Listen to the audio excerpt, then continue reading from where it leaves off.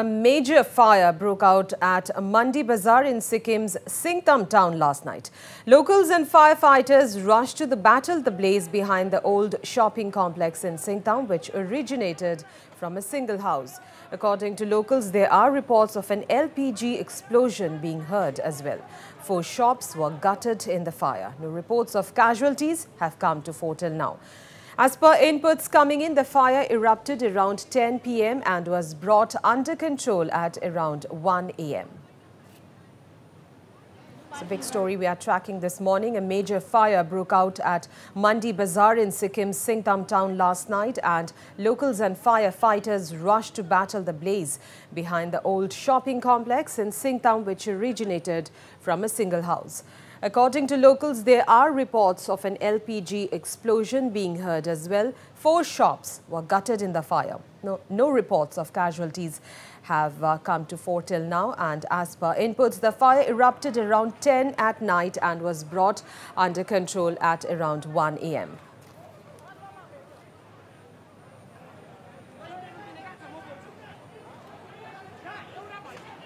And my colleague Prakash Adhikari is uh, with us over the phone line for more updates. Well, Prakash, a major update uh, we are getting from Sikkim that a fire broke out at Mandi Bazaar in uh, Singtam town last night. आपके पास क्या details है, updates क्या है इसके बारे में? जी अमृता कल रात को सिंगटम के मंडी बाज़ार में एक मेजर फायर ब्रोक आउट हुआ था जो लगभग 10 बजे से ये फायर स्टार्ट हुआ और एक घर से एक घर है, उस घर से शुरू हुआ था और लगभग फोर हाउस डिस्ट्रॉय हुआ है, टोटली चार घर नष्ट हुआ है और कोई कैजुअलिटी का रिपोर्ट नहीं है। एक, मगर एक बड़ा फायर ब्रोकआउट था दस बजे शुरू हुआ फायर ब्रोकआउट कंट्रोल करने में लगभग एक बजे सुबह के एक बजे कंट्रोल हुआ। सिंगताम, गैंगटोक रंपू के फायर ब्रिगेड एनएसपीसी के फायर ब्रिगेड और लोकल पीपुल ने इस फायर को कंट्रोल किया।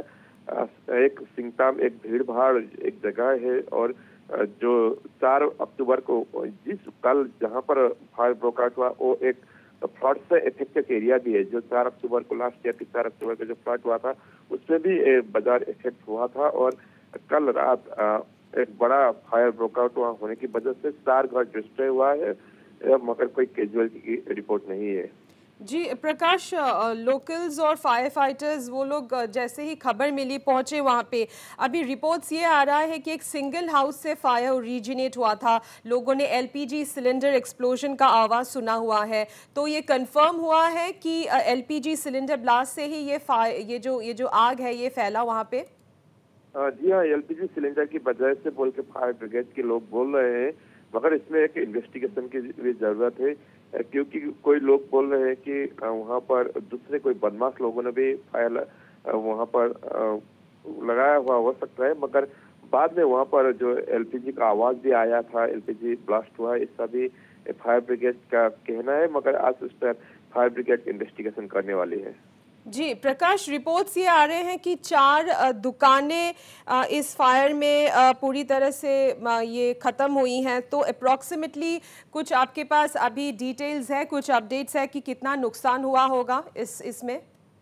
जी हाँ सिर्फ़ चार दुकान है, चार घर, दो काठ के घर और दो बिल्डिंग इसमें डिस्ट्रॉय हुआ है और तो बहुत नुकसान की होने की संभावना है। मगर ये रात की बात है तो आज इस पर जो रिपोर्ट आज जल्द आज ही मिल पाएगा, मगर सिर्फ़ सात दुकान है चार घर डिस्ट्रॉय हुआ है तो बहुत बड़ा नुकसान वहाँ पर हुआ है।